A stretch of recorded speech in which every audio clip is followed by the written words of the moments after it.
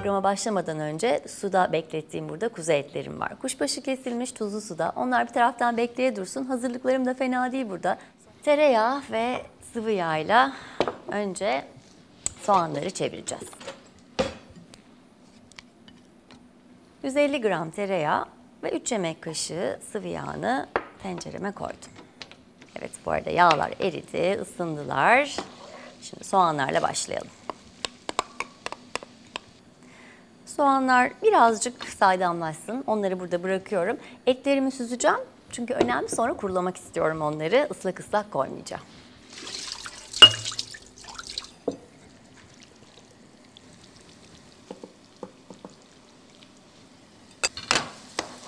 Evet ben artık iki tane iki diş sarımsağı eziyorum ve soğanları ekliyorum.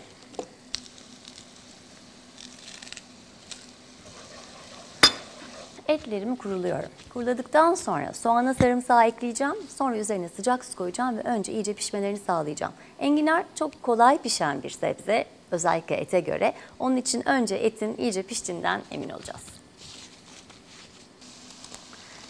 Etleri de ilave ediyorum. 500 gram kuzu eti bu. Kuşbaşı doğranmış. Etler burada renk almaya dursunlar. Biz sebzelere gelelim. 10 dal taze soğan var. Onları incecik doğruyorum. Rengi değişmiş olan bu kuzu etimize tuzu ve karabiberi de ekleyelim. Ondan sonra sıcak suyla beraber iyice pişecek.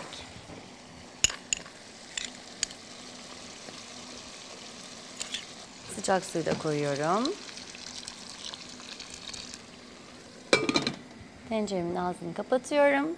Kaynadıktan sonra biraz da kısık ateşe alacağım. Kaynıyor zaten. Şimdi o burada güzel güzel pişmeye devam etsin. iyice yumuşasın. Ben sebzelere devam ediyorum.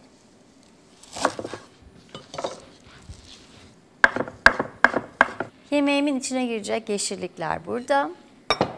Bu dereotları da bugün dereotu sevenler benim yaptıklarımı sevecekler galiba. Bunu da kenara koyuyorum. Süs için kullanacağım. Şimdi önümde 6 tane ayıklanmış enginar var. Bunlar yıkandı. Ben mutlaka kurulayacağım. Temiz bir mutfak bezime. Ondan sonra da şu meşhur masaja geçeceğiz.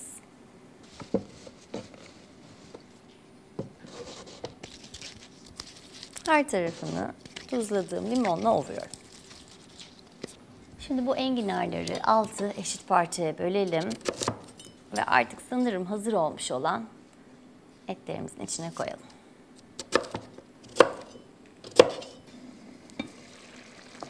Etlere dokunuyorum ve pişmiş olduklarını hissediyorum. Şimdi artık ekleyelim enginarlarımızı.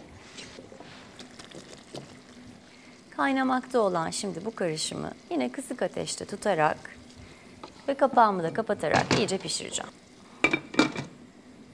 Enginar çabuk pişiverdi diye düşünüyorum. Hemen içine yeşillikleri de atacağım. Ve bir taşım daha kaynatacağım. Ondan sonra artık bugün hayat ağacındaki ocaklı işimiz bitmiş olacak. Şöyle yeşiller tam da rengini kaybetmeden o kıvamda kapatmayı unutmayalım.